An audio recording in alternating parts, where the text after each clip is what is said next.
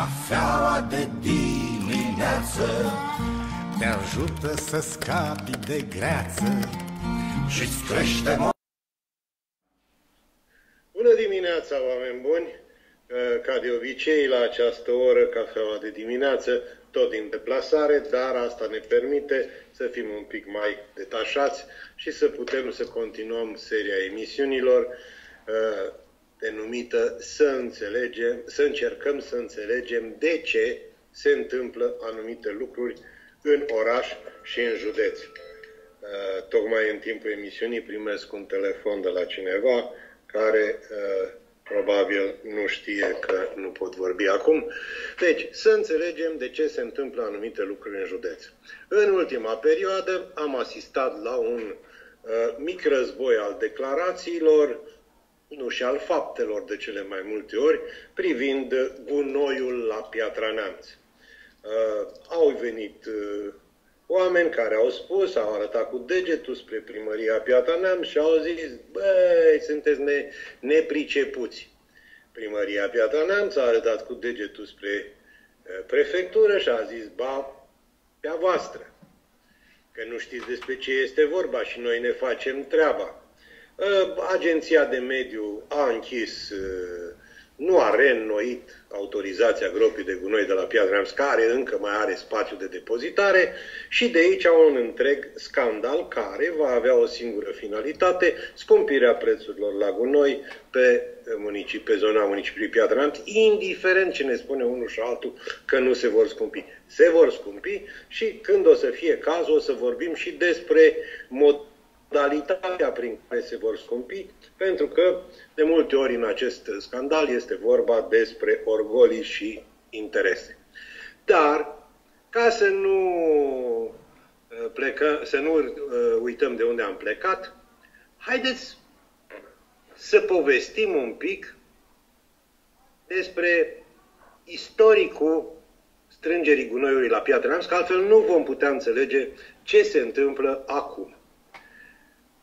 Păi, dacă ar fi să dăm un titlu la chestia asta, ar fi așa. Gunoiul la Piatra Neamț. Curat murdar coane fănică. În loc de coane fănică puteți spune coane Ștefan, puteți spune uh, coane, mă rog, nu știu, hai să mai spunem cine, ca să nu... Coane uh, Dragoș, coane, mă rog, cine ori mai fi fost ei pe acolo. Dar, dar, adevărul este că Piatra Neamțu a fost printre puținele orașe fericite din această țară care, printr-un program, a reușit să-și construiască o groapă ecologică de gunoi pe baza unui proiect care a fost apreciat inclusiv de autorități din afara țării.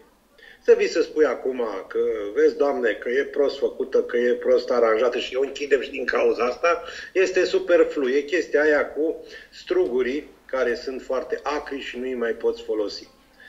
Uh, dar a fost un program, s-a construit o groapă de gunoi. Asta prin, uh, trebuie să ajungem prin 2004, dacă nu mă înșel, când s-a schimbat primarul la Piatra Neamț. A plecat rotarul, puțin își mai aduc aminte că atunci s-a făcut o groapă de gunoi și a venit Ștefan. Când a venit Ștefan, a zis așa, băi, ia să vedem noi ce cu gunoiul ăsta, că am auzit că prin Italia se câștigă bani mulți de pe gunoaie. Și au luat hârtie. Și au văzut acolo, cine a câștigat licitația? Bratner. Cine să ăștia? De ai noștri? Pot fi, dacă vor, dacă nu, nu. Și atunci s-a mers mai departe, zice, bă, dar eu, zice, eu, ce cunoștințe am la, în zona gunoaielor? Păi n-am, de să întreb eu pe unul care cât de cât să mai pricepe. Cine o fi, mă, cu gunoaie? Alo, alo, domnul Cristi, tu ești cu butelii, ai și gunoaie? E, este o firmă Rompres, sunt și eu pe acolo, nu știu ce. Bă, dar de ce nu veniți voi la piatră? De ce nu veniți voi la piatră? Păi cum de la piatră aveți o licitație făcută, nu știu ce. Lasă-mă. Și uite așa, depozitul, euro, depozitul de gunoaie de la vânător Neamț, depozitarea a fost luată de la firma, firma Bradner, care a rămas numai pe o porțiune și a venit Romprestu.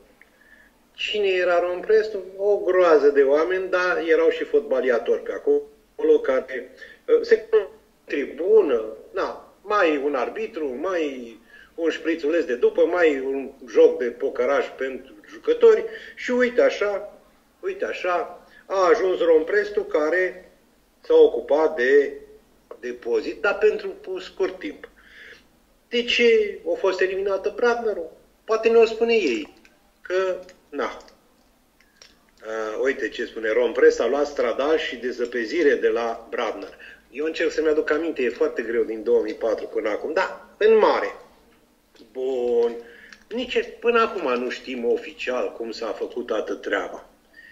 A venit după aceea, Rompresul a plecat și a venit, uh, cum se cheamă, Rosalu, Rosalu, Rosalu, o firmă interesantă de la Roma. O firmă interesantă, uh, clădită în jurul unui personaj absolut fabulos, un om cu bancurile la el, nu vorbesc de bancurile din activitatea profesională, deși putem discuta și despre astea, un om cu bancurile la el, un om vesel, un om uh, implicat în comunitate, domnul Corduneanu, uh, care, absolut întâmplător, având în vedere experiența domniei sale în gunoaie, a fost numit și uh, politic, evident. A fost numit șef la Agenția pentru Protecția Mediului. Ăștia se ocupă cu niște chestii, dacă ați auzit mai devreme cu reînnoirea autorizațiilor, cu eliberarea autorizațiilor pe ce? Pe genul ăsta de activități, mediu, inclusiv grob de gunoi. A, a fost un impediment că domnul Corduneanu era acolo și avea o firmă prin familie, interpuși, nicio problemă. Ma, nici măcar când s-au dat autorizații. Ei bine, a venit domnul Corduneanu, care și-a luat, că nu putea altfel, și un muncitor alături de el, adică salubritasul. Era 70% parcă, dacă nu mă înșel, domnul Corduneanu, 30% salubritasul. Adică salubritasul se ocupa de partea mai puțin grea a lucrurilor, adică să, se, să preia gunoaiele, să se ocupe acolo, iar salubritasul, iar Rosalu se ocupa de partea mai complicată, făcut hârtii, încasat bani și alte chestii de genul ăsta. Bun. Ei bine, cam de acolo a început problema. Pentru că, haideți să ne gândim, de ce iei o groapă de uh, gunoi din asta să o administrezi? Ca să faci bani. Nu? A, asta cu poveștile, cu protecția mediului, cu hai să strângem gunoaiele selectiv ca să le de... Sunt deocamdată povești, oameni buni. Sunt deocamdată povești. Nu ai infrastructură, nu ai dorință de cele mai multe ori, uh, nu ai posibilități. Și atunci lucrurile stau așa. Tu administrezi o groapă care ți-a căzut de pleașcă, că de pleașcă a fost, ai acolo un muncitor și încasezi bani din ce se depozitează. Interesul tău este să faci în așa fel încât să depozitezi cât mai mult, faptic sau scriptic. Ca asta de acum știți cum e. Cine cântărește și face actele. Bradnerul, pe de altă parte, a rămas să strângă gunoiul din oraș. Interesul lor nu este neapărat să... Că era foarte simplu să ia ducă totul să depoziteze acolo. Nu, interesul lor este să atingă niște ținte, că ne-a spus domnul Jugan, acum subprefect, pe vremuri la mediu, că trebuie să atingem niște ținte cu gunoaiele astea. 70 noi nu le dăm uh, selectate, mă rog, restul, că ar trebui să inversăm procentul. Dar nu știu cum să face, că chestia asta cu inversatul procentului e cu, aten- e cu lupa pe ea doar la Piatra Neamț. Că în restul județului, mm, nu prea am auzit eu să fie atâta mari probleme. Cam asta e situația la Piatra. Dar, oameni buni, să nu uităm, noi nu avem gropi de gunoaie numai la Piatra Neamț. Mai ales că la Piatra Neamț era o groapă conformă, care încă nu este plină și care, în mod normal, într-o țară civilizată, cu niște oameni responsabili în timp, ă, ar fi rezolvat această problemă în mod amiabil. Dar ia să ne aducem noi aminte un pic, încerc să văd dacă reușesc să găsesc ă, material scris în mesagerul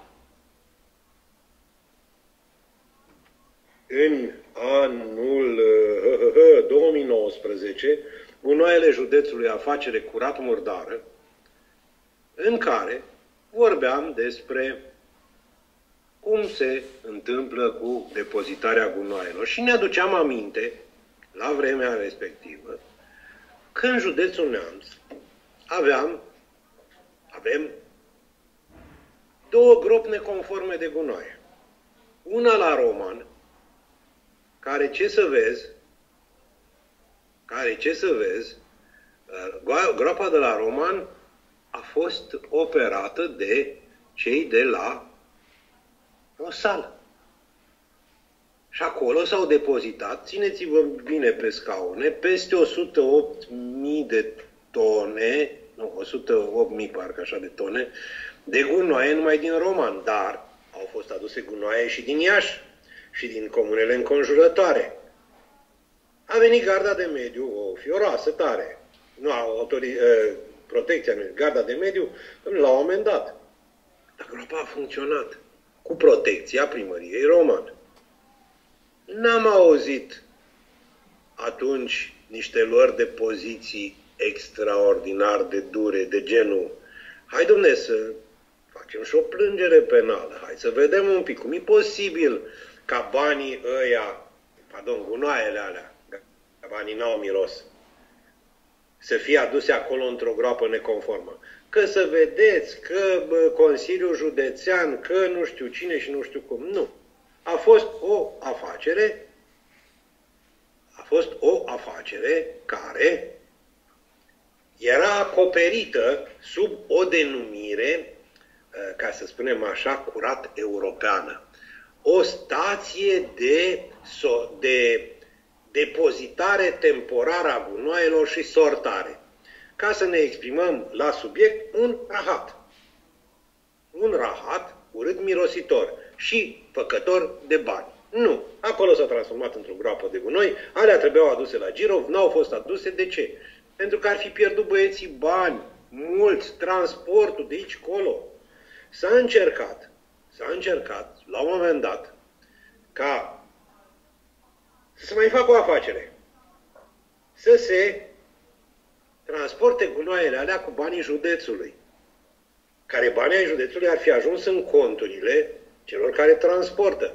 Prin zona Târgu Neamț s-a făcut și o firmă special pentru transportat gunoaiele astea. Uh, s-au pregătit și niște hotărâri de Consiliul Județean, de Consiliul Local la Roman, ca să vezi, Doamne, hai să rezolvăm problema asta pe care tot noi am creat-o și așa, dar mai câștigăm un bănuț cu toții. S-a scris atunci, mesagerul a scris la vremea respectivă, probabil că cineva a luat un clopoțel și a zis, băieții, băieții, asta pute prea rău, chiar de data asta banii ăștia miros urât, hai lăsați-o naibii. Ați mai auzit ceva de subiectul ăsta? Nu. Avem subiectul gunoaie la Piatra Neamț. Depozitul ecologic conform de gunoaie Piatra Neamț, care, care aveau, care sunt acum o mare problemă. De ce? Pentru că până la un anumit punct, la Piatra Neamț, până la un anumit punct, la Piatra Neamț, primarul Carabelea era încolțit de toată lumea în perioada, pentru perioada următoare și se punea problema să fie făcut să nu mai candideze sau să, să fie scos de la candidatură. Între timp, lucrurile s-au, uh, s-au uh, liniștit dintr-un anumit punct de vedere. Am asistat la o împăcare istorică, unii ar spune chiar isterică, în, între uh, primarul Carabelea și restul Partidului Național Liberal.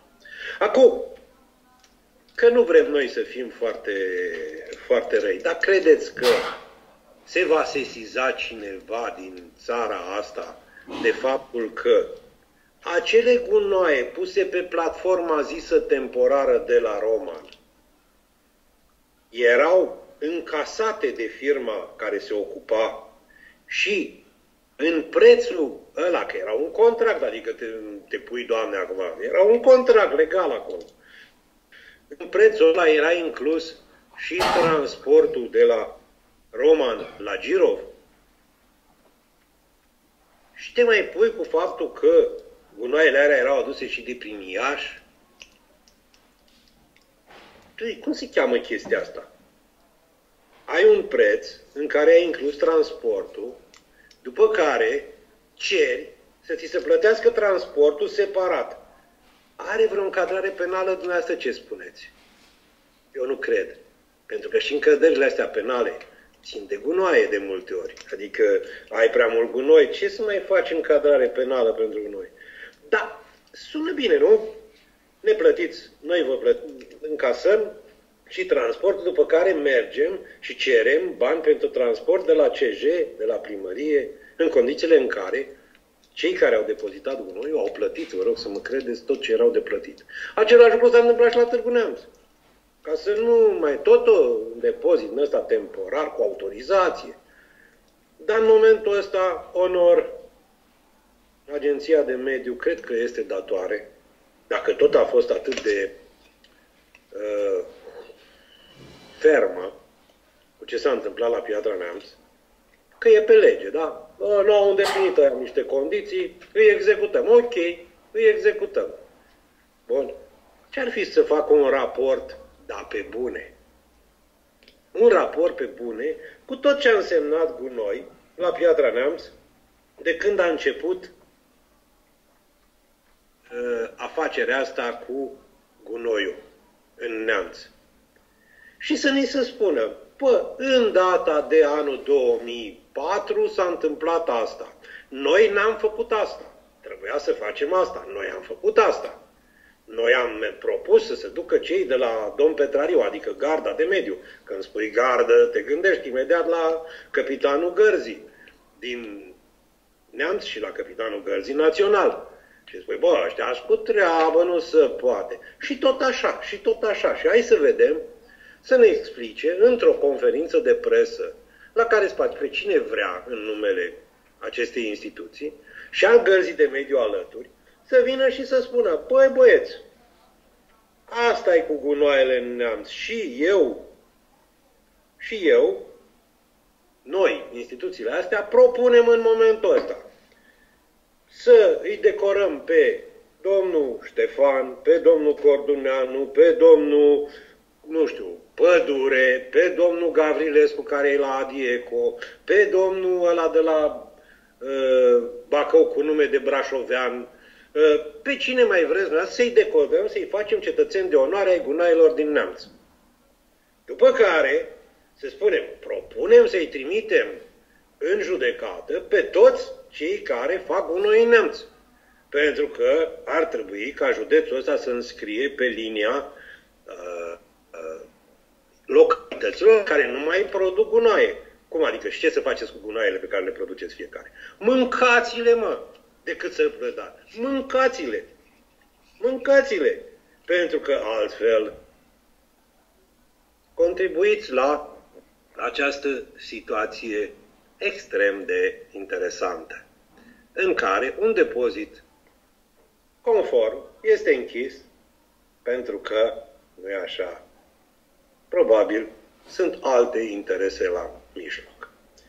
Era un șlagăr, dacă nu mă înșel, al unui cântăreț interbelic care vorbea de lalele, lalele. Ar trebui să facem unul neamț, gunoaie, gunoaie. Pentru că, vă rog să mă credeți, aia este atâta de vorbit, de cântat și sunt atâția de cântat pe subiectul ăsta, încât s-ar putea să putem să ne prezentăm la Eurovision cu un șlagăr care să fie, cum să spun, pe gustul autorităților de la Bruxelles. Foarte bine orientat spre un mediu curat. Ne oprim aici. Vă doresc cele bune, să nu uităm însă să mai spunem ceva. Că toată afacerea asta, toată afacerea asta cu gunoaiele, are în spate interese majore. Interese care, cum să vă spun eu, sunt atât de mari și de importante încât cei care vorbesc despre gunoaie întotdeauna se aștepte la probleme. Ne oprim aici. Nu mai bine. Sănătate și să fim cu toții, să trăim cu toții într-un mediu cât de cât mai curat și nu mă refer numai la gunoaie.